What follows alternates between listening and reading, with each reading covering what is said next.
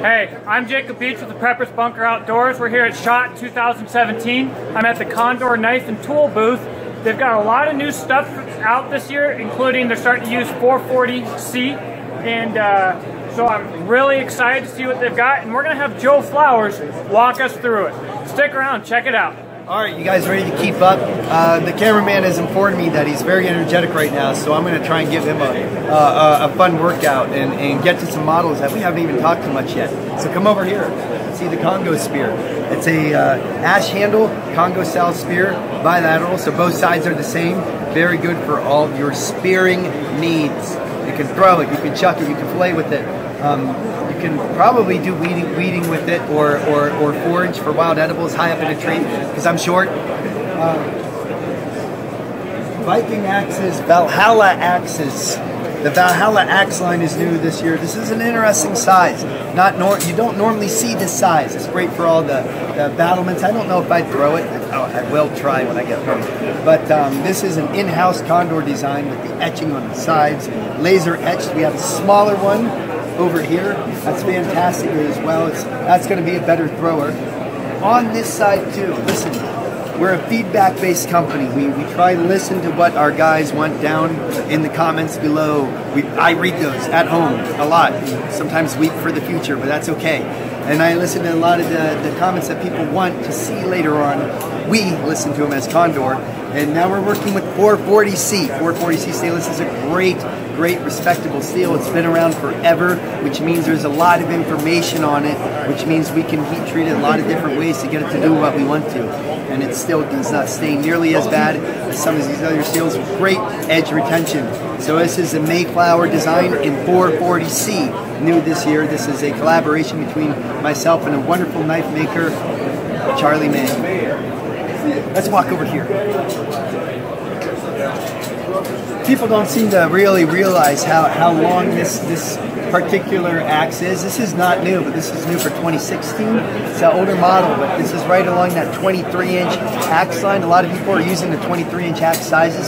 Seem to be splitting a lot. Seem to be doing a lot more splitting than they are carving.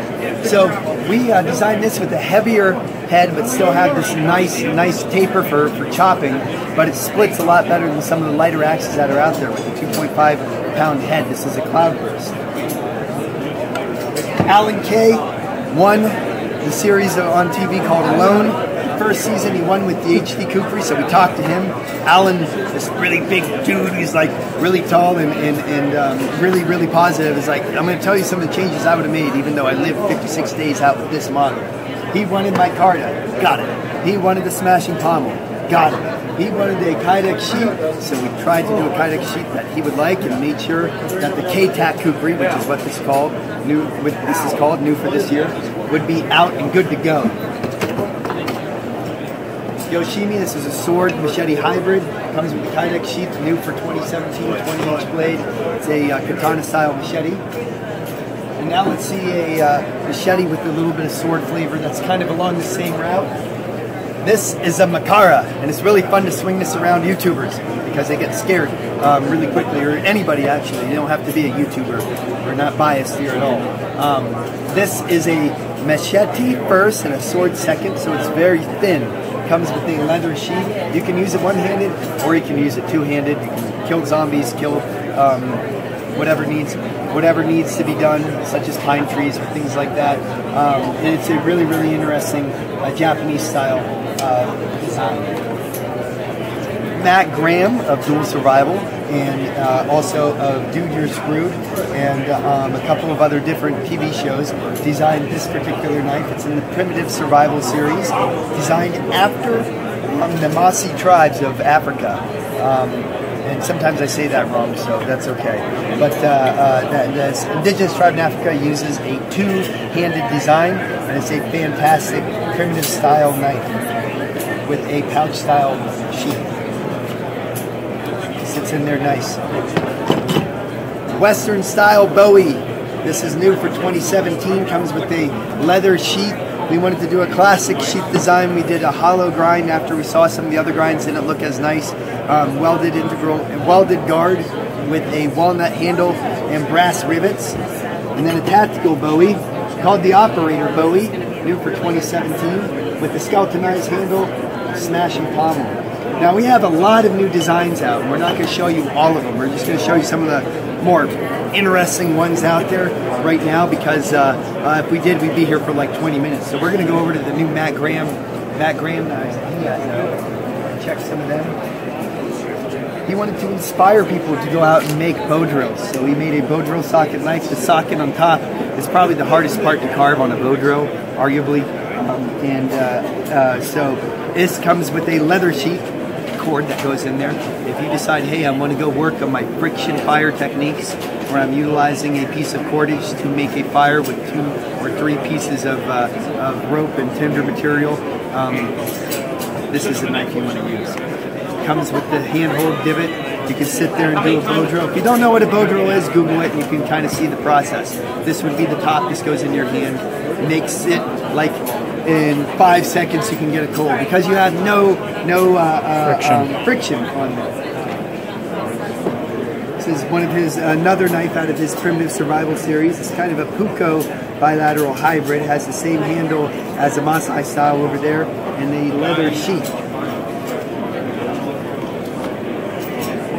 Also available, I haven't told you guys the names yet because we're still deciding on some of the names and I'm really bad at names and get everything confused.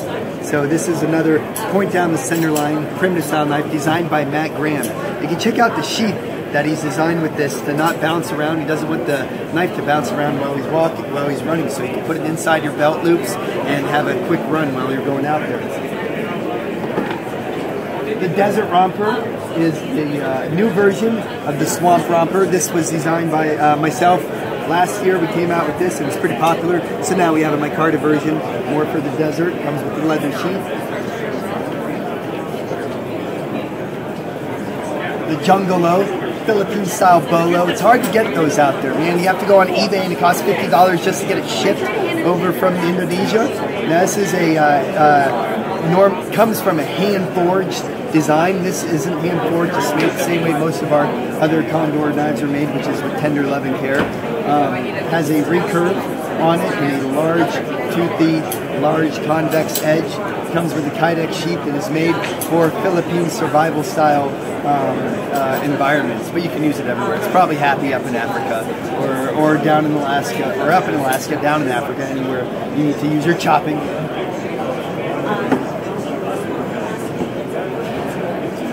finish it out, the primitive Sequoia knife, designed by Matt Graham.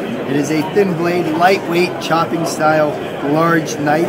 Um, can be used out in the camp and out in the wild very, very easily. You can see the etching and embellishment that he put on there.